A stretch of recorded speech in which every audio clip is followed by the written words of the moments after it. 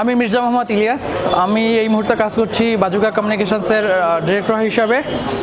পাশাপাশি brand practitioners Bangladesh, ওইটার আমি একজন ফাউন্ডার আমি ফাউন্ডার আমাদের আসলে, আমি বলব এই মুহূর্তে আমাদের চব্বিশটা ঘণ্টা চলে in fact brand marketing promotion communication ইত্যাদি দেখে দেখে। এটা ইনফ্যাক্ট আমাদের নেশা, পেশা ইনফ্যাক্ট আমি যদি বলি source of earning as well খুব ভালো লাগে যখন আমরা দেখি যে কোনো একটি বাংলাদেশি ব্র্যান্ড ইনফ্যাক্ট এগিয়ে আসে বা বড় হওয়ার চেষ্টা করে বা তারা আসলে ব্র্যান্ডের টোন পার্সোনালিটি ক্রিয়েট করার চেষ্টা করে।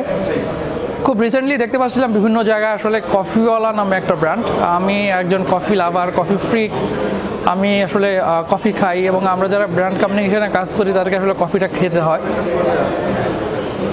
তখনই আসলে দেখলাম যে কফিওয়ালা নামে একটা ব্র্যান্ড একটা বড় করে বাংলা ব্র্যান্ড আর সুন্দর করে একেবারে এপাশ থেকে ওপাশ যিনি লোগোটা করেছেন এবং যিনি ব্র্যান্ডটা তৈরি করেছেন, আমি তাদের সেন্স দিয়ে শুরু থেকে প্রশংসা করেছি।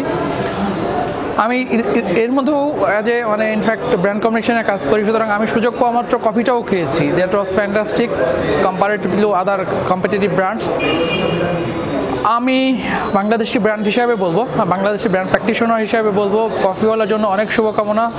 আমি আশা করব, অদূর ভবিষ্যতে কফিওয়ালা অনেক বড় একটা ব্র্যান্ড হবে, বাংলাদেশি একটা বড় ব্র্যান্ড হলে আমি আসলে ব্যক্তিগতভাবে খুব খুশি হব।